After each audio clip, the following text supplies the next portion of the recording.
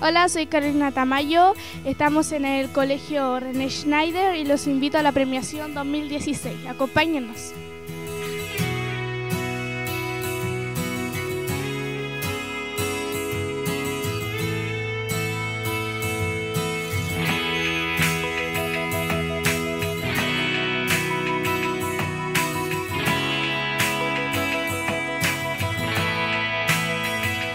¿Qué siente luego de ser premiado? Eh, no, siento nervios, así como vergüenza y alegría a la vez porque me premiaron.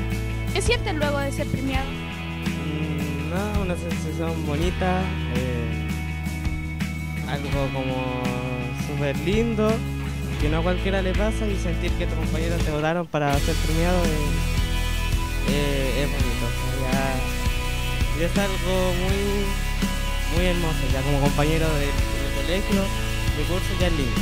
¿Qué mensaje le podría enviar a los alumnos que no fueron premiados? que el próximo año será mejor y que para eso es necesario que durante todo el año haya un esfuerzo permanente para lograr esto que han logrado los niños de ahora. ¿Cómo sugiere la idea para realizar una ceremonia de premiación? Bueno, yo creo que la ceremonia de premiación que se hizo este año eh, está dentro de los parámetros del colegio y creo que es lo que, lo que corresponde a una ceremonia de este tipo. ¿Qué sintió luego que su hijo fuera premiado? Bueno, la verdad es un orgullo como madre, ¿ya? Asistir a este tipo de eventos así más, eh, que se reconozca eh, el esfuerzo del- de mi hijo durante todo el año escolar.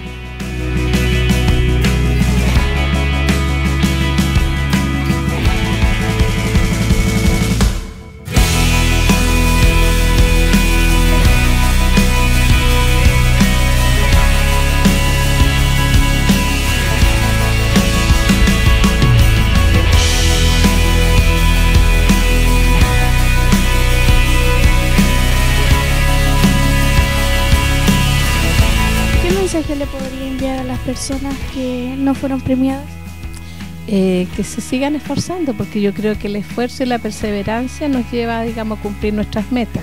Si uno se esmera por lograrlo, eh, sí, sí se puede. Yo creo que todos son capaces de tener, digamos, un, un merecido reconocimiento. Así que yo creo que lo más que les puedo decir a cada uno de ellos es que sigan esforzándose y que perseveren para lograr sus metas y todos los objetivos.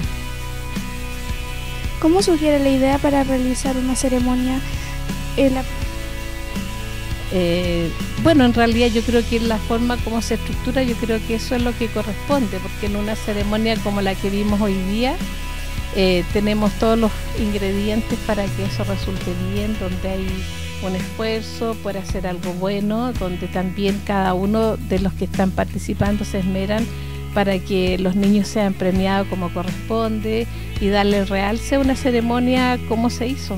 Yo creo que en realidad generalmente aquí eh, los procesos siempre se han ido completando con las personas como corresponde. Así que yo creo que es, mantener la dinámica de trabajo solamente, nada más que eso. Felicitamos a todos los premiados, así concluye la premiación 2016 que espero que pasen una feliz vacación. Se despide la periodista Carolina. Chao.